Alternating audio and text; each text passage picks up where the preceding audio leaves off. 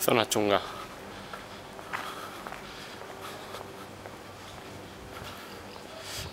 Zona muy chunga.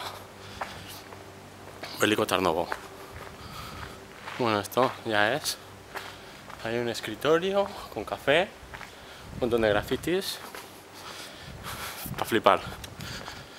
La lógica al revés.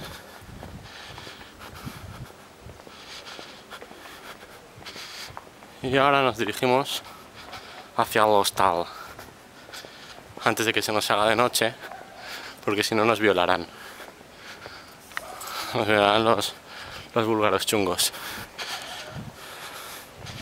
Como vemos la iluminación es perfecta para la violación.